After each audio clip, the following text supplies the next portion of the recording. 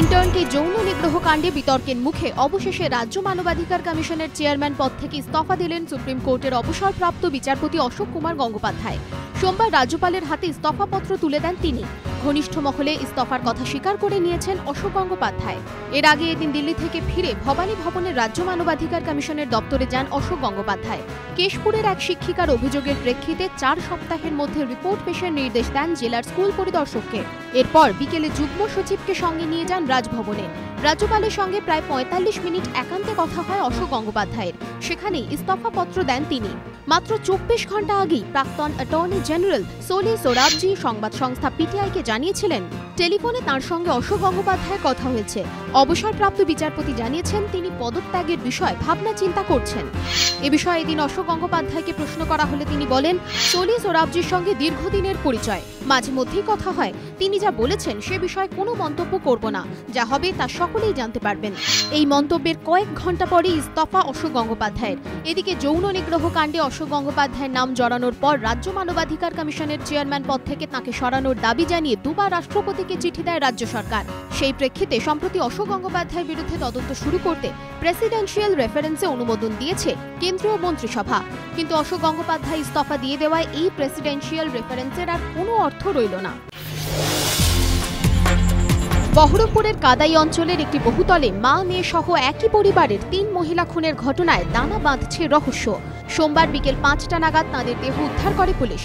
মৃতেরা হলেন পঁয়তাল্লিশ বছরের বিজয় বসু, আঠেরো বছরের আত্রেই বসু এবং বাহাত্তর বছরের প্রভা দাস। বিজয় ও আত্রেই সম্পর্কে মা মেয়ে, প্রভা দাস বিজয় বসুর পিসি। প্রতিবেশীরা জানিয়েছেন, তিনজনকে শেষবার দেখা যায় রবিবার সকালে। এদিন বিকেলে প্রতিবেশীরা খোঁজ নিতে গিয়ে দেখেন, দরজা ভিতর থেকে বন্ধ। খবর দেওয়া হয় পুলিশে। প্রতিবেশীদের অভিযোগ, মা মেয়েকে ধর্ষণ করে খুন করা হয়েছে।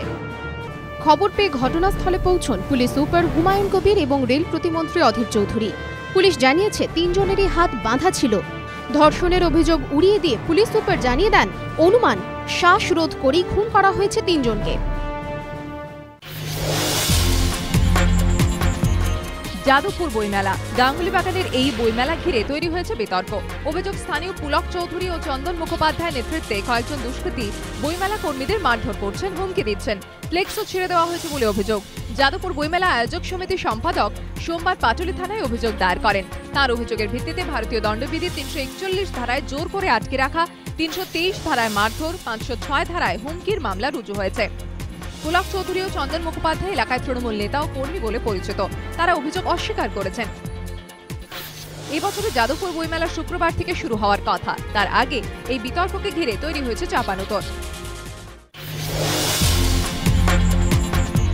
মোহামেডান স্পোর্টিং এর বিরুদ্ধে এক এক গোলে ড্র করায় কলকাতা ফুটবল লিগের খেতাব। প্রায় হাতছাড়া হয়ে গেল মোহনবাগানের সোমবার যুবভারতীতে খেলার বারো মিনিটের মাথায় সাদা কালোকে এগিয়ে দেন রাহিম নাবি খেলার পঁচিশ মিনিটে কাটসুমির দুরন্ত গোলে সমতা ফেরায় মোহনবাগান। খেলার ছাপ্পান্ন মিনিটের মাথায় রেফারি বিতর্কিত একটি সিদ্ধান্ত ঘিরে স্টেডিয়ামে উত্তেজনা ছড়ায়। সাদা কালো সমর্থকরা ইট পাটকেল ছুটতে থাকেন মাঠের দিকে। মোহনবাগান ডিফেন্ডার প্রীতম কোটাল পেনকে ট্যাকেল করলে পেনাল্টি দাবি জানাতে থাকে মোহামেডান স্পোর্টিং। রেফারি উত্তম সরকার সেই দাবি নাকচ করতেই উত্তেজিত হয়ে ওঠে সাদা কালো গ্যালারি। চোদ্দ মিনিট বন্ধ থাকার পর ফের শুরু হয় ম্যাচ। মোহনবাগান ড্র করায় দশ ম্যাচের পর দাঁড়িয়ে বাইশ পয়েন্টে। ইস্টবেঙ্গল পঁচিশ পয়েন্ট পেয়েছে নটি ম্যাচের পর। যা পরিস্থিতি, শেষ দুটি খেলায় এক পয়েন্ট পেলেই কলকাতা লিগের খেতাব ফের জিতবে লাল হলুদ।